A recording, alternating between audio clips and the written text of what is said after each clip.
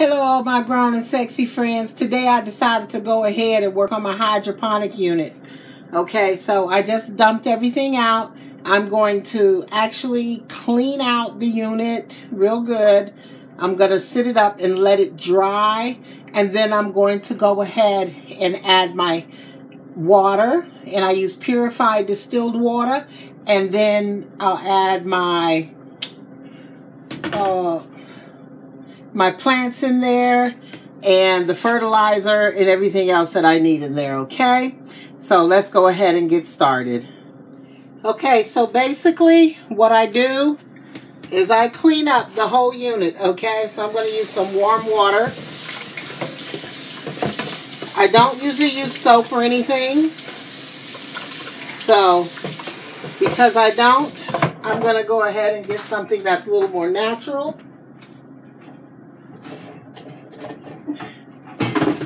Okay, so basically I'm going to use some pure Castile.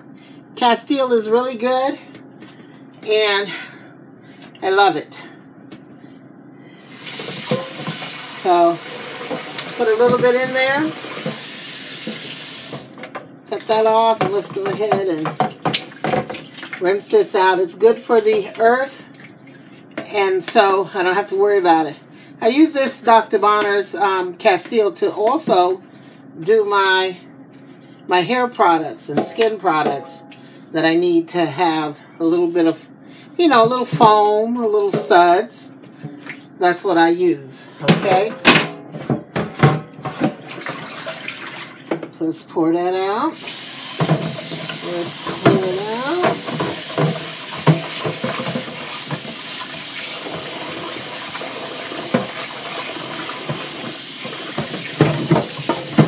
Okay, I let it sit for a second with the Dr. Bronner's, just for a second. Now, like maybe three to five seconds. And then I rinse it out with good hot water. Okay. Inside and out. Gotta get that filter good and clean. Okay.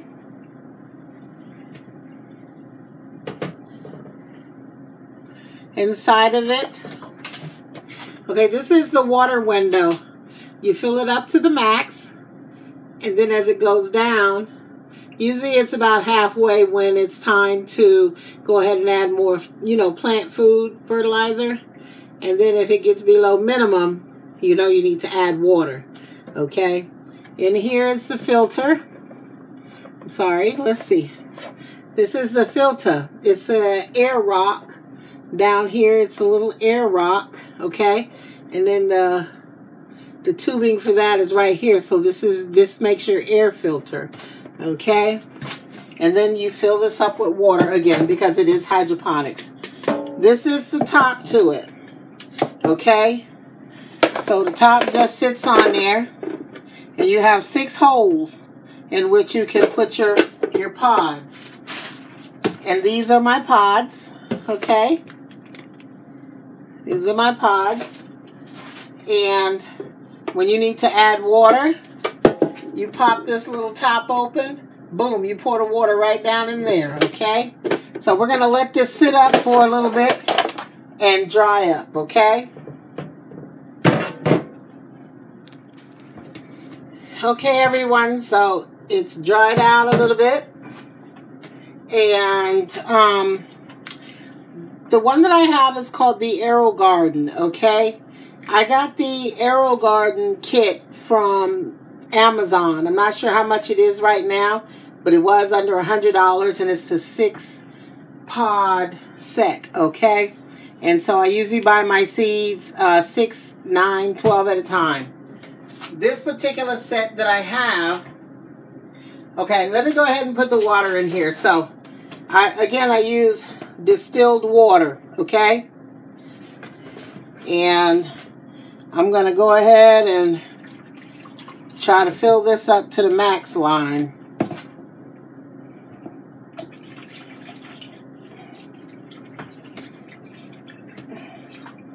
So that's the half of a jug that I had left.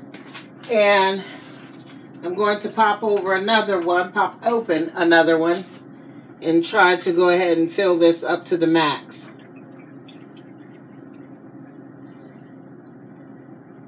Okay. So that's just right below the max line because I got it sitting on the sink like this. You put the top on it, okay? And it's not that heavy, so it takes about almost a gallon of water, not quite a gallon, okay? Now, this is sage. I think I'm going to put the sage right there.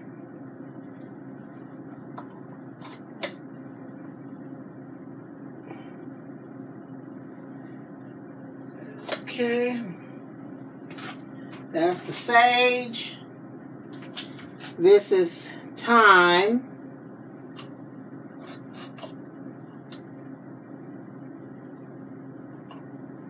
And I'm just holding it in there so the pod can get wet. So the little dirt pod in there gets wet, okay? It says these usually sprout in 7 to 14 days. But we will see. This is Italian parsley that I'm putting in the very front. Okay.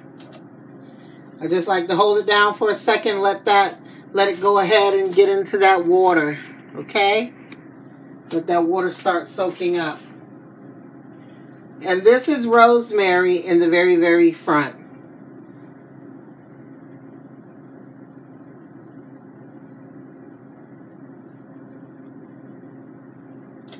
So let's see. Maybe I should move this one here. And this one here. Okay, so I'm I'm going to sit it like this because um, the thyme doesn't grow as wild as the Italian parsley and the sage. So I put the Italian parsley here and the sage here. The sage can grow out that way, the parsley out this way. The rosemary has its own little space.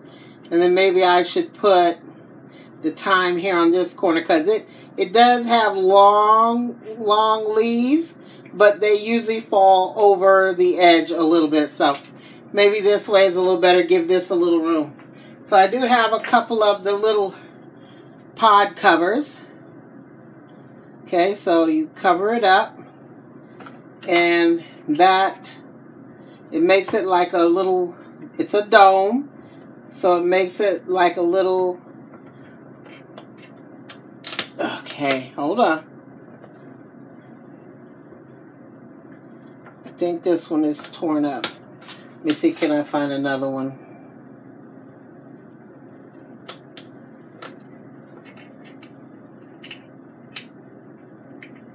Okay, let's see. Let's try that. Okay, that's not going to work. I stick one of the domes in there just to make sure. So there we go. And then I'll stick a dome there to cover up those holes. I don't have any anything else to keep those holes covered. And again, makes it like a little geranium a little bit, I guess. You cover them up to keep all the moisture in, okay? And again, this is the Scarborough Fair Garden, and it has rosemary, thyme, Italian parsley, and sage. I covered up the water holes just because I don't like them to, you know, to be uh, sucking up the water and the, the water dissipate and then I have to add more water more quickly than normal. Okay? So we're going to take this over here and plug it up.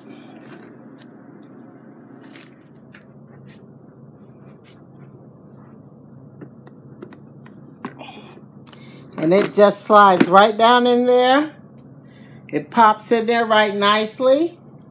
So I'm going to go ahead and I'm going to plug this up.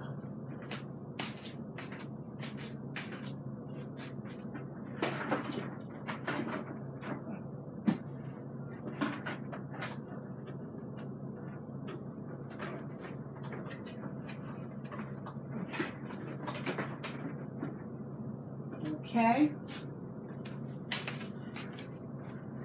So as you can see, everything's in there. And then all we have to do is, okay, see the water, and then all we have to do is set it, okay? So we're gonna hit reset. All right, so it's set for the herb garden, okay? So now I'm gonna put two capfuls of the liquid fertilizer in there. It's the liquid plant food, okay? For the AeroGarden. I'm gonna put two capfuls of this in there, all right?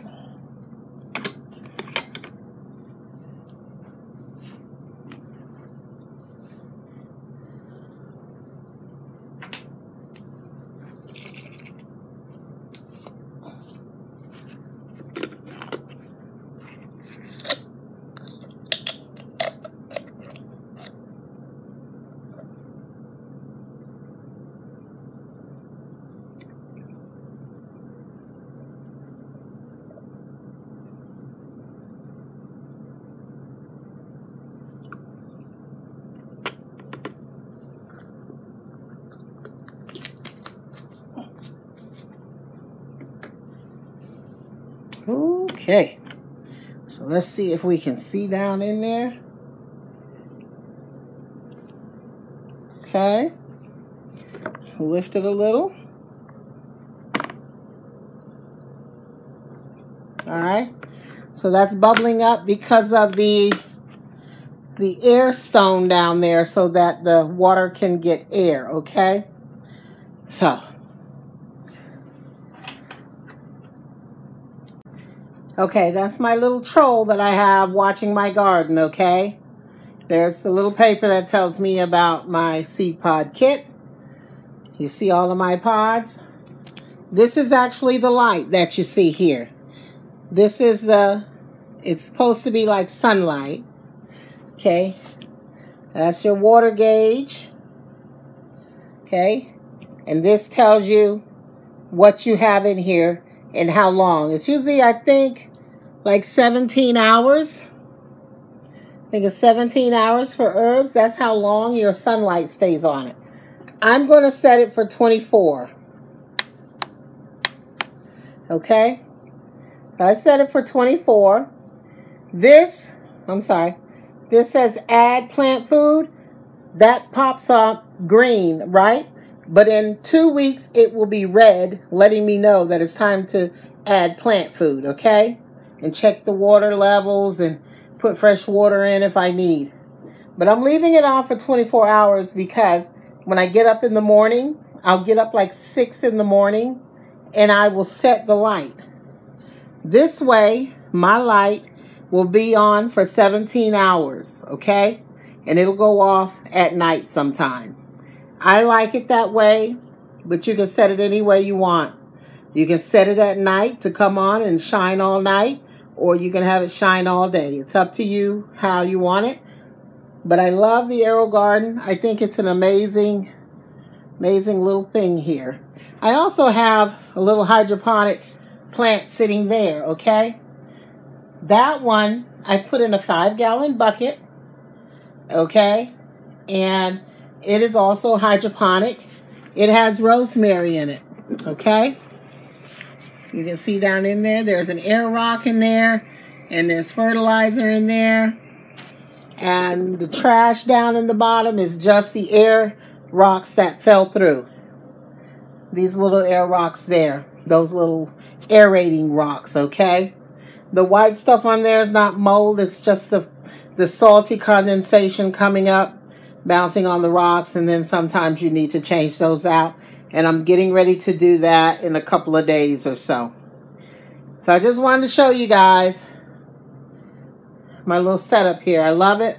I usually have six herbs in there and then once I once I let them grow I go ahead and I dehydrate the herbs to dry them out and then I put them in little containers and that's how we use our fresh dried herbs.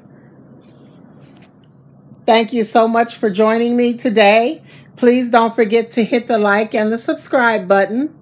And don't forget to make some comments. If I left out any information about the hydroponic garden that you would like to know, go ahead and leave me a comment and I'll go ahead and answer it personally, okay?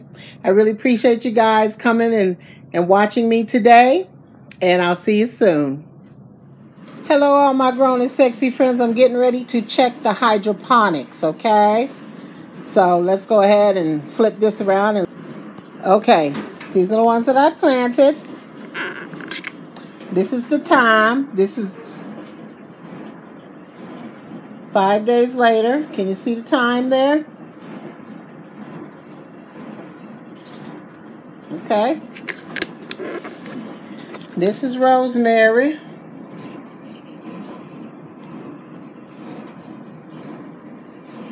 Okay. This is sage.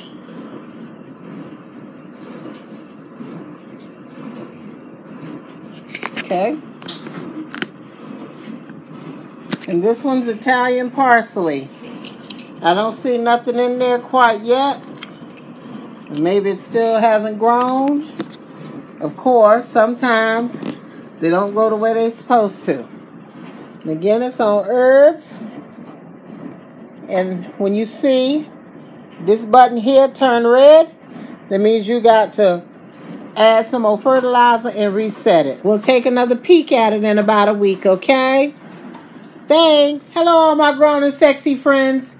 This is almost the end of the second week, so I'm going to show you what the hydroponics are looking like now. It's not been quite 10 days, or maybe it's been right about 10 days, okay? So basically, every 14 days, you have to change the over here it shows you got to add plant food. So you, you don't change anything. I'm sorry this show it blinks red to show you you got to change excuse me got to change the um plant food or add more plant food okay that was the thyme there this is the sage look how tall that sage is looking this is the Italian parsley growing down in there. I think there's a little bitty piece of green.